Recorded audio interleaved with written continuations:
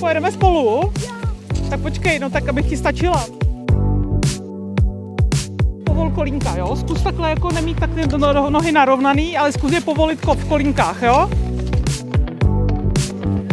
Čistá položka. A tak? Super. Ty, ty jsi profík, ty děláš biatlon nebo co? Ne. Ne?